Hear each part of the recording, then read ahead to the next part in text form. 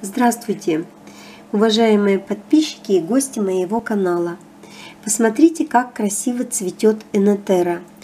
Этот цветок называют еще лунный цветок, ночная свеча. И совсем такое название юморное, что ли, ослинник. Это все название одного садового цветка. Растение энотера может быть как многолетний, двулетний и однолетний.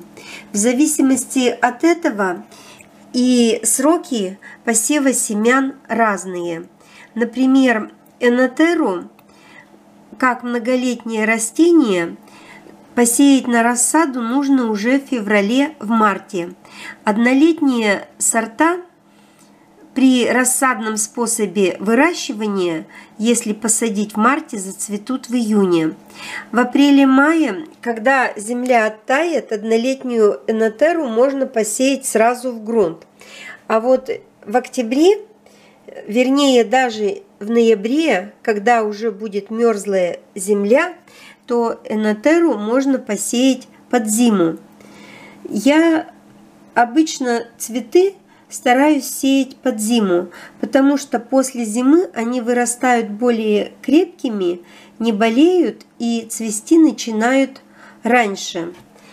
Энотера среди садоводов, цветоводов ценится за неприхотливость, за красивые желтые цветы, но они могут быть и голубые, и розовые.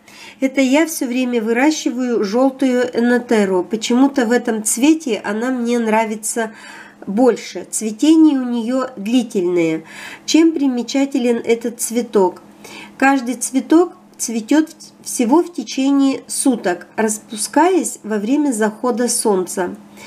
В зависимости от того, какая высота растения, то цветы могут вырасти от 30 сантиметров и даже до метра.